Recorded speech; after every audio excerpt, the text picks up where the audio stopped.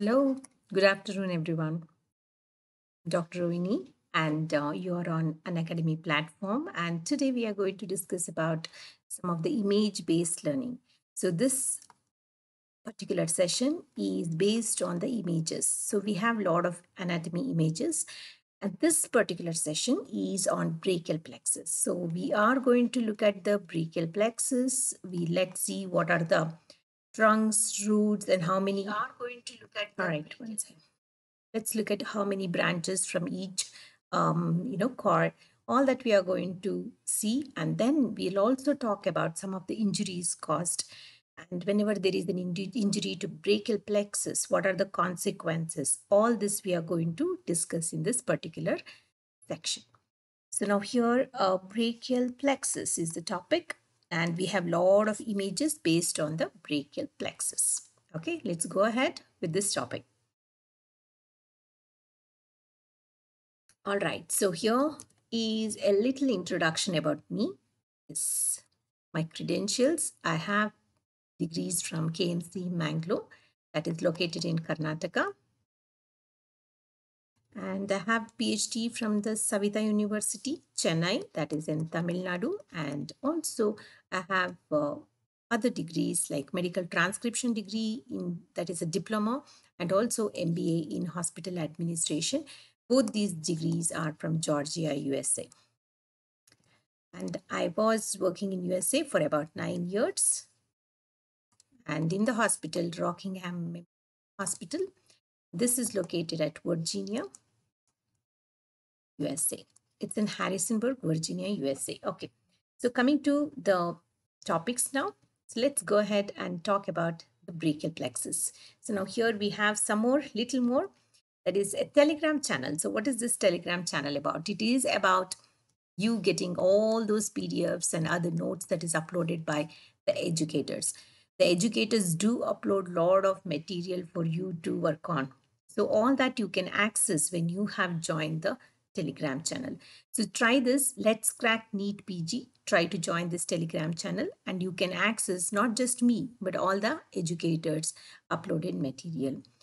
And you will also get a notification and links for all those classes from us. So this is let's crack NEET PG telegram channel. So this is how you know how to download the app and you know how to join it. So this is the Telegram channel link, how it looks like. All right, so what do we have here? We have some iconic and plus subscriptions. Now here we have live classes, weekly tests, and other plus classes. So now this is all about, you know, the Unacademy and the Prep Ladder. And this one will give you access to Unacademy classes. This is what you get. And you also get a lot of test analysis, experts, guidelines you can look for, and lot of study material, all that is available. So there is rapid revision series, prep ladder also has a lot of question banks and study planner, personal guidance. All this you can get with the access to these series. And you also have a feature where you can ask a doubt with your educator. So you can just clip that question itself and send it to your educator. So that is one big advantage of being in Unacademy. And this is the special class that we had on 18th and every Wednesday like this. So we have some special classes that was on um, Wednesday 18th at 7 a.m. we started. And then there was one at 8 a.m. And it goes on like this. Then there was some classes in the afternoon as well.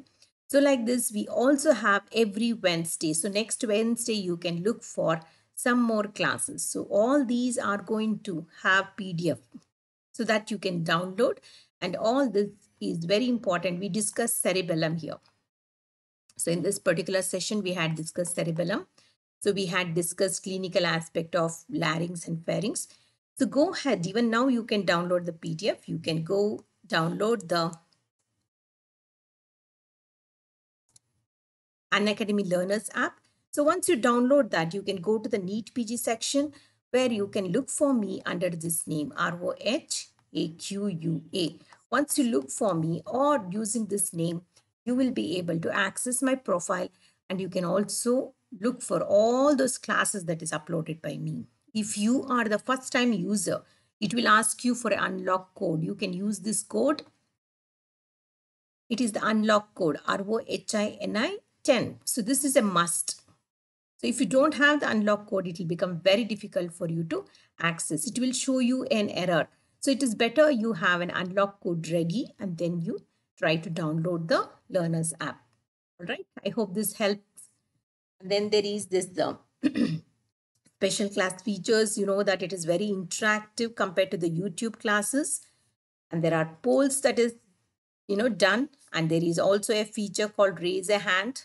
And you have a feature that you never miss a class. That is because you always get notifications prior to the class. And you can also access all these lecture notes and anytime, anywhere, you can access all these things. And here you can also go for the subscriptions. There are various ways to get the subscription. So there is there is uh, a step one where you go to my goals. You see what is your goal. Is it your goal NEET PG or FMG or INI Go check what your goal is. Then accordingly, you can go for whatever subscription you look for. There are special classes also you can just check out these special classes. This is what I was talking about. You will definitely be asked about a unlock code. So please use the code at that time. This is the code. And then you can also see there are two months, three months, and six month subscription. So these three options are seen here. And then you also have a payment option. You can go for it. And this is how you can install. You can see the learners app. You can go to Google Play or the store, the Apple iStore, and then whichever phone, depends on what instrument you have, you can download. This is another feature Bugs Bounty where uh, there is an opportunity for all the learners to report any inappropriate content. There is subscribe, like and share. We urge you to please subscribe, like and share all our classes so that we can also grow and you can also earn lot of knowledge through this mode. Okay, this is my referral code ROHINI10. So with using this, you can not only access to all those free products, but you can also get 10% discount on what you can get when you subscribe. You subscribe to the plus classes or the iconic classes. So you can get 10% discount. All right, so this is plus subscription. Likewise, you have iconic subscription. You can also see the batches starting from 18th. We just started. So you have all these FMGE professional two-year batches. You can also see Target Next 2023. So that is also there. There is also NEET PG Ultra Fast Track High Yield Topic Revisions. And you can also look for the NEET PG one month package and there is question bank series about 25,000 you know, high yield clinical questions you can see. And there is 12 plus 2 option. Two months is completely free for you. And there is also four year subscription that is plus is 60,000 for four years. So you can have unlimited access to this for four years. And also 75,000 unlimited access for four years. So it is really, really worth it. And you can also see there is a EMI option. This EMI option is really nice because for 48,000, you have to just pay 1250 for 48 months. You can pay 1250 per month and minimum of six months is what we are looking at. Once you have minimum of six months subscription, you are eligible for this. But you need to use the code, dear. You don't forget the code ROHINI 10. So this is a must. Wherever you want to access free or subscribed um, uh, things from the Unacademy, you need to have the code ready. So there are grand test series that is already scheduled, like the test 1, test 2, and so on up to test 10. And it goes on from the 7th of August it started and it goes on till the September 9th. So it is everything is neatly scheduled and already planned. All you need to do is take the proper subscription and start studying and work towards your goal. So it is easy when someone motivates you, right? This is the first one. Let's see what we have now. So let's go to the um, first thing that we have. Let's go back to what we started with. Let me just show you there is a small. Okay, so this is the brachial plexus. All right, so here we have the first one. The brachial plexus, the name itself indicates the brachial is arm.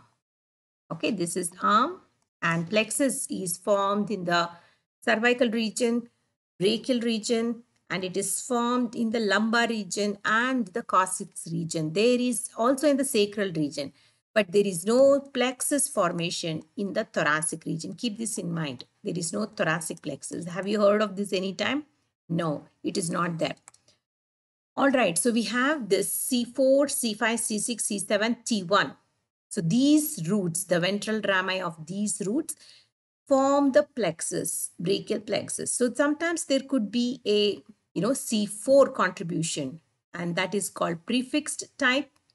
If there is a T2 contribution, then it is called postfixed type. So all these roots arise from the ventral rami of spinal nerves. You can also see they pass between the anterior and middle scalene muscles. Okay. Very, very important. So where are these brachial roots? Between the anterior and middle scalene, you know, muscles. So all these muscles are attached to the scalene tubercle on the first rib. Okay, there is on the first rib, there is a scalene tubercle and you will see the attachment of these scalene muscles on that. And you can also see there is roots forming those trunks. You can see all these yellow ones are the roots and they form the superior trunk, middle trunk and the inferior trunk. So there are three trunks. So that is trunks. Okay, next coming to what are the branches that we can see? You can see that from the trunks also you have nerve to subclavius coming out. There is this one and dorsal scapular nerve that is near the shoulder region. All these Uh, branches are near the shoulder region. And you can also see the formation of long thoracic nerve C5, C6, C7. What does this supply? This supplies the serratus anterior muscle. Okay, serratus anterior muscle. All right, let's see if there's any questions or anything from the students. All right, just hold on.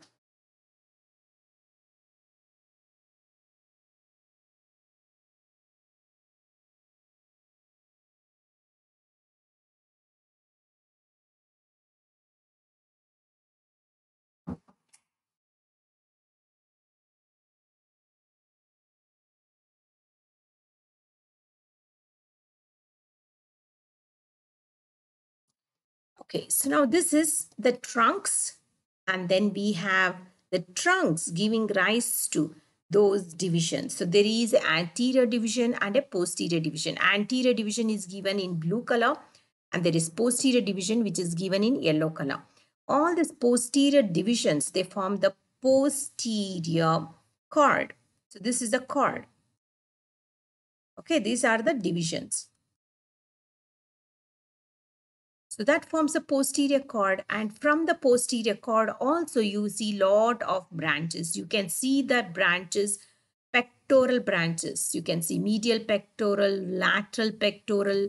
This is lateral pectoral, there is medial pectoral and you can also see those important nerves going to the scapular region that is subscapular, upper subscapular, lower subscapular and you can also see the long, you know, thoracodorsal nerve. And you can also see all those terminal branches of the brachial plexus. What is that terminal branches? You have the musculocutaneous, the axillary, the radial, median, and you can see ultimately the ulnar.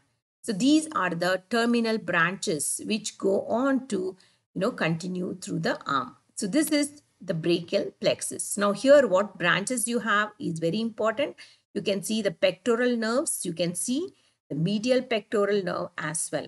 So one point is very important where the upper trunk, you know, near the upper trunk, you have an important nerve that you know, um, takes origin that is called the dorsal scapular nerve. So this point is very important because this point is related to a condition called the Erb's palsy. So that's why this point is important. All right. So let's move on to the next one and see what we have. So here the thoracic outlet syndrome. You must have heard of thoracic outlet syndrome, right? What is it? Thoracic outlet syndrome is nothing but the compression of the clavicle and all those structures that are present between the clavicle and the first rib. Now, what is the structure? One of the important structure is the brachial plexus. So, if this gets compressed, all those numbness and other features will happen on the uh, nerves. That is, all these nerves, they supply the upper limb and all the shoulder region and there will be the symptoms of numbness. So that is the feature of thoracic outlet syndrome. And there is one more thing that we have to remember, Erb's palsy. So Erb's palsy is the effect on the C5, C6 root. So C5, C6, this is the one which gives that upper trunk and that is what is going to be affected. So this point here, nerve to subclavius, you can also see the dorsal scapular nerve. So this region, that is Erb's palsy. And then there is cord compression that can result from prolonged, you know, overhead activities like lifting. And there are so many people who lift things overhead, like those, um, you know, village ladies carrying water on their head with their arms lifted up. So this activity can also compress the brachial plexus and can cause numbness in that region. So remember all this, all the muscles like the coracobrachialis, pectoralis minor that are present in the arm can have compression.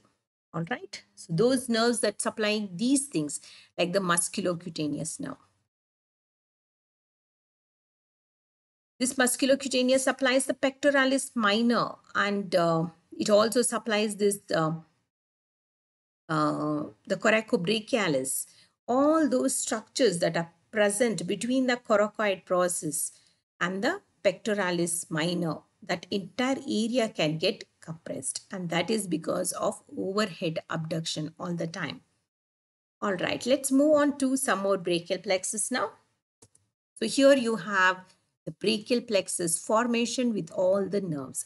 One important nerve that you have to notice is the long thoracic nerve. You please note down it supplies the serratus anterior. All the muscle supplies are also given. It's a very beautiful diagram. You can see the long thoracic nerve has the root values C5, C6, C7. And you can see this dorsal scapular C5 and it supplies the rhomboidus and the levator scapulae muscles. And you can see the thorac, long thoracic nerve C5, C6, C7 and it supplies the serratus anterior. This is the one which does overhead abduction that is from 90 to 120 degree abduction. Okay, next one.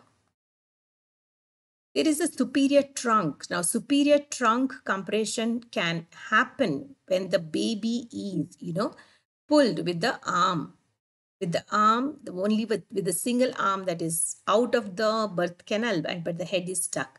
So that can result in injury to the upper trunk. And this is called the Erb's point and the nerves involved would be suprascapular and nerve to subclavius. Remember this? This is Erb's point. Okay. So C5, C6 roots will be involved and you can see middle trunk and the inferior trunk and then the divisions anterior posterior anterior posterior. Look at all the posterior ones. They join together to form the posterior cord. And from the posterior cord you have upper and lower scapular subscapular ones and also thoracodorsal. From the lateral cord you have lateral pectoral and you have ultimately the terminal one that is musculocutaneous. And from posterior cord you have two nerves. One is axillary and radial and from the medial cord, you have median nerve contribution and median nerve also gets the contribution from the lateral cord. And then ultimately from the medial cord, you have ulnar nerve. So this is the brachial plexus. Now, if someone asks you, how many nerve roots are there in the brachial plexus? You have to remember it is five. Okay. Then if someone asks you how many trunks, there are three trunks. Like a phone number, you can remember this. How many divisions? Six. How many cords? Three. How many terminal branches? Five. So it is five, three, six, three, five. Okay, so this is the number you have to remember. 53, 63, 5. Okay, 53, 63, 5. So this is again, you know, it's uh, very simple. Are you tired? Are you tired? That is roots, trunks, drink, coffee, buddy. So this is one roots, trunks, D, C, D. So this is 5, this is 3, this is 6 divisions and then there is 3 cords and 5 branches. Are you tired? Drink coffee, buddy. Okay. Next one, let's see what we have. Branches we have. Branches, we have so many of them. There is the lateral cord, there is a medial cord, and there is a posterior cord. You can see all this L, L, M. Okay, then there is MM, 3 times M, and there is 4 times M. So you can remember this as 4MU also. Or you can just remember this as most medical men use morphine. Of course, This is a drug, medicinal drug. And you also remember the posterior cord. It has this ulnar, U-L-N-A-R. So remember this, all the branches. So you can get the branches of all the three with this nice mnemonic. So lateral cord mnemonic, you can see medial cord and also the posterior cord. Let's see what we have. Next, we have done with all this. We have Unacademy explanation and then we have done with all those credentials that we have.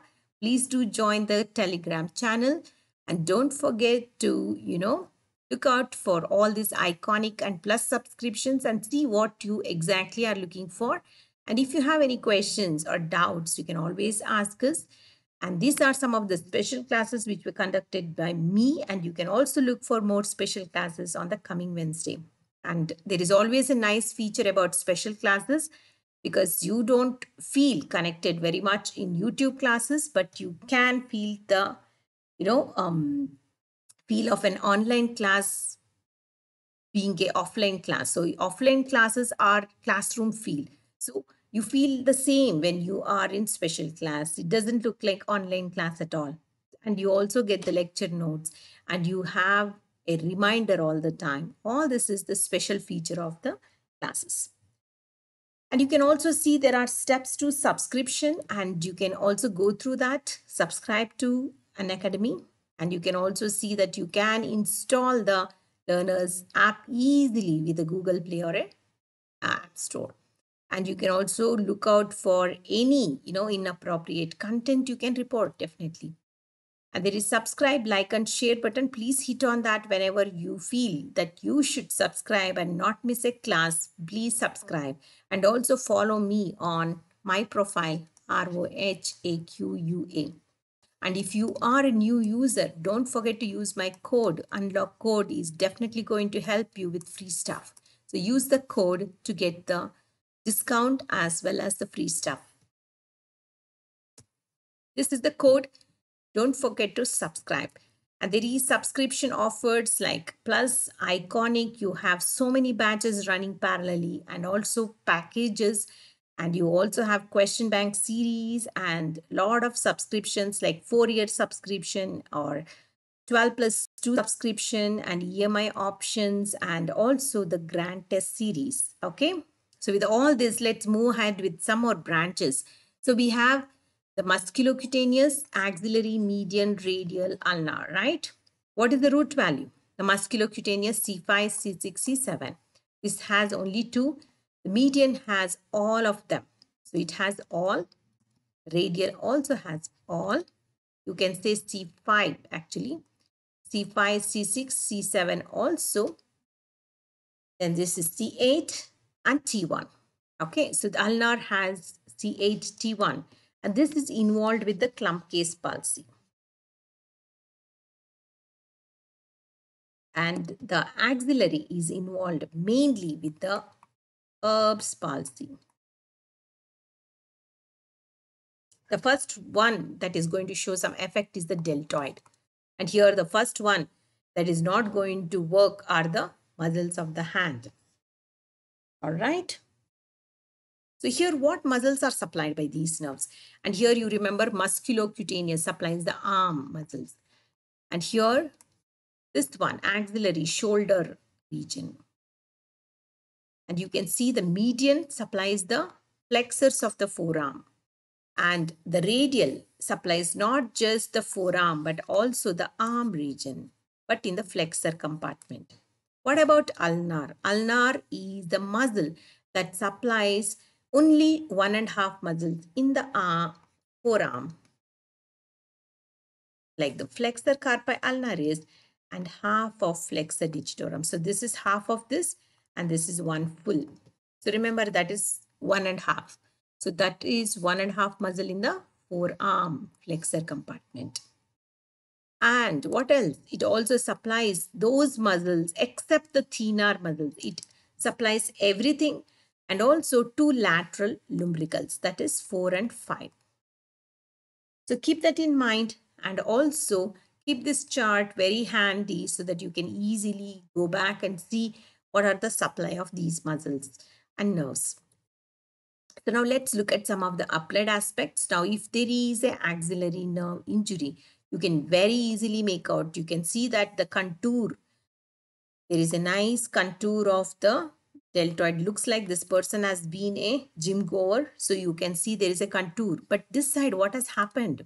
The contour is lost. You can see the tro you know, uh, tubercles, greater and the lesser tubercles. They just pop out and you can easily see that there is a flat shoulder and there is a fractured surgical neck of the humerus. That could be the reason of axillary nerve injury.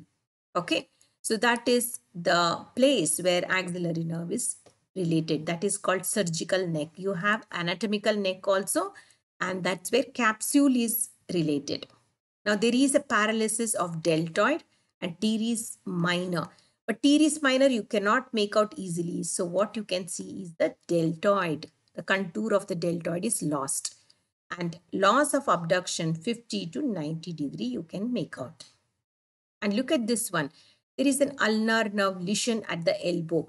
So you can see at the elbow it crosses through this medial condyle. This is the medial side. So you can see there is a small condyle that, you know, through the it hooks onto that condyle and passes behind it. And you can see fracture of the condyle can result in injury to this. And there could be motor paralysis, whatever muscle supplied by this one. The flexor carpi ulnaris, the flexor digitorum, and all the small muscles in the hand, they all lose action. And it also has some sensory supply.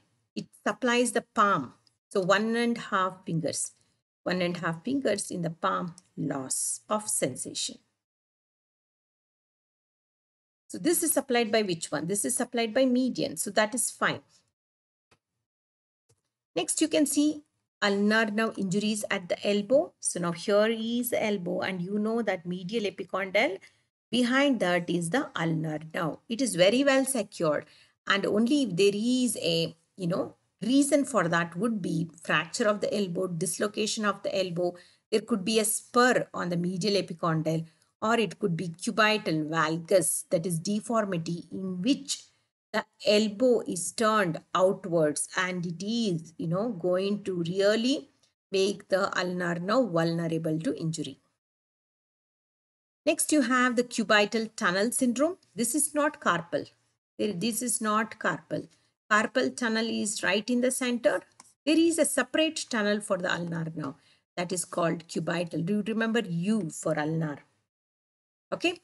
So through that it passes. Sometimes there could be compression of the nerve in this tunnel and that is the area supplied by this nerve that is one and a half fingers that would lose the sensation and you can see all those muscles in the flexor compartment, the common flexor origin. And you can also indicate the flexor carpi ulnaris. The last one is flexor carpi ulnaris. All right, what is Guyon's canal syndrome. This is also for ulnar nerve. Okay, so that is a small canal that is present here. This is different and that is different. Cubital tunnel is different and this is different. So here what happens if there is a compression, the person again would lose have a loss of sensation in the one and a half fingers. So this is where you have the ulnar artery and the nerve passing. Rest of the things pass underneath. So this is the flexor retinaculum. So underneath the retinaculum, you have the median nerve. Median nerve and other vessels passing underneath. But what you see in the separate, you know, canal is the Guyon's canal. That is where you can see the ulnar. Very well secured. So ulnar is above the carpal tunnel. So this is how you test the ulnar now. You can ask the patient to grab a piece of paper. So that is to check the palmar which do adduction. Right? They do the adduction. So add. You are trying to add them and see whether she can grasp or she can hold the paper really well. That is palmar adduction. So that is interossei action. When you want to test the dorsal interossei, that is abduction so you have to try to, you know, ask the patient to grip something when he is, you know, you, you can you can check that. So this is the palmar interossei. When you ask the patient to grip something, there is resisted abduction of the fingers.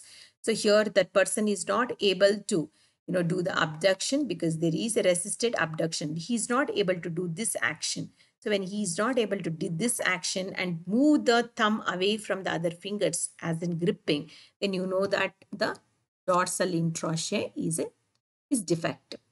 So now action of the in, interossei and lumbricals, what are their actions? Now you know that palmar will do add, dorsal will do abduction. What about the lumbricals. What do lumbricals do? Lumbricals will flex the MCP and they will do extension of the IP. That is the action of lumbricals.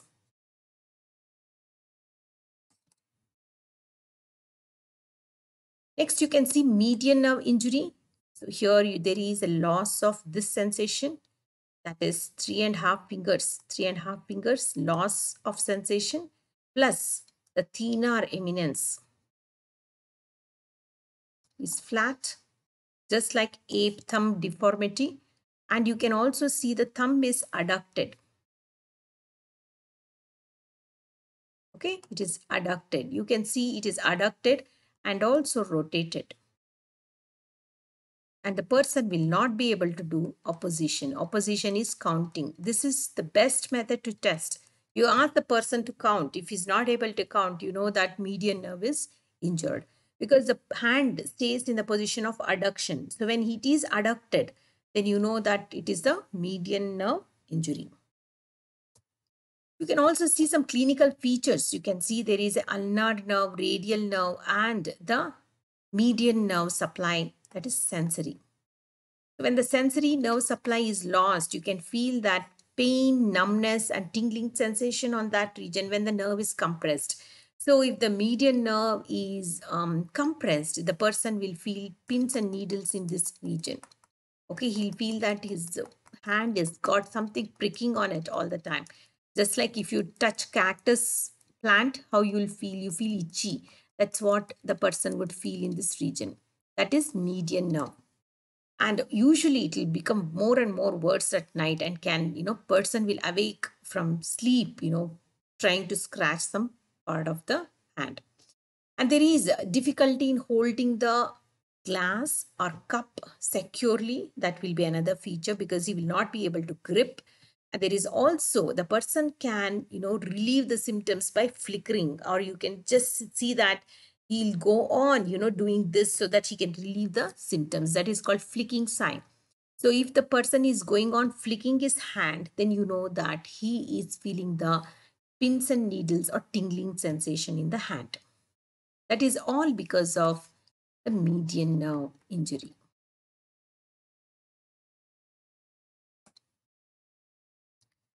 Next one, okay sign. When do you ask the person to do okay sign? It should touch this should touch. Okay, you can see that this is for anterior interosseous nerve weakness. If the anterior interosseous nerve that is branched from the median nerve is paralyzed, then the person will not be able to do this okay sign. Instead of that, he will hold it way too back. He should be able to do this, the okay sign. If it is not, instead of that, if it is like this, then it is not fine. You are testing which muscles? You are testing flexor pollicis. Pollicis is for the thumb. You're also testing one more muscle that is flexor digitorum profundus. So flexor pollicis and flexor digitorum will help you do this good sign, okay sign. But if the person is doing this sign, then it is wrong. With the weakness in these muscles, the digital phalanges cannot flex. Okay, so these phalanges will not be able to flex and instead fingertips touch. So this is supposed to flex. The last digital phalanx is supposed to flex. It may not flex this way. And instead of that, the entire thing may sit on the other finger. Okay, the volar surfaces of each distal phalanx may contact. So this is the volar surface. Okay, this is not correct. This is not correct. Instead of that, we want it more arched like this. Next, extensor pollicis. Extensor E is here. This one, extensor pollicis brevis. This is also one of the boundary of the anatomical snuff box. Right? along with the abductor. So when you ask a patient to abduct with the other fingers flexed, you are checking for the extensor pollicis brevis muscle. So which helps you in abduction. So you're asking the person to do abduction of the thumb to check this muscle. Okay, so this is the thumbs up sign. This is the median nerve lesion three and a half fingers and distal median nerve lesion. This is the one. This is called median claw hand. And this is proximal median nerve lesion that is towards way up high. And here this is called hand of Benedictine or Pope sign. This is sensory defects. So here will be the median, three and a half fingers. And the person will not be able to hold or grip anything See here, he's not gripping it very well. Here he has a proper grip. There is no grip. So this is called bottle sign. Okay. Next one, ape hand deformity. You can see there is a ape hand deformity. This is adducted and rotated thumb. There is no muscle mass here. Hand of Benedictine. These two are bent. Here pointing index. These are all defects from the median nerve. This is ulnar claw hand. Here you can see there is a claw formed this is hyperextended. Which one? This joint. That is metacarpophalangeal is hyperextended. This is the wrist drop because of the radial nerve. because it supplies the extensors. Other than that, oops, other than that, you also have axillary, which I mentioned, that is the contour of the shoulder is lost. So remember, ape hand, hand of Benedictine, pointing index, they're all the median nerve lesions. If it is proximal, what happens? If it is distal lesion, what happens? If it is proximal, you remember proximal for hope. Okay, proximal lesion is hope. Distal is just a median claw hand. Okay, just like ulnar claw hand, this is median claw hand. And here you can see there is the claw hand, hand of Benedictine. So this is also kind of same thing. So it is either called hand of Benedictine or Pope's hand. So this is also Pope. So this is which one now? Proximal damage to median now. This is the distal damage to um, the distal damage will have complete claw hand and this one is pointing index And this one is ape thumb deformity, where you can see the adducted thumb and rotated thumb. All right, so with all these, I think I have made some things really clear for you in the section of brachial plexus. I myself, Dr. Rohini, and uh, would like to urge each and every student who is watching this to please hit a like and also follow me on my profile so that you can get more of notifications from me and not miss a single class from YouTube or the special classes. Special classes are really, really nice. So please go ahead and try those classes and you will definitely like it. I have so many classes coming up on Wednesdays. So please look forward to all these classes on Wednesdays. And in the meantime, you can also go look at all my YouTube classes and YouTube classes. The next class will start at 4 p.m. with more of image-based learning. So isn't this fun? Images are really going to give you lots and lots of knowledge input. All right, with all this, myself signing off.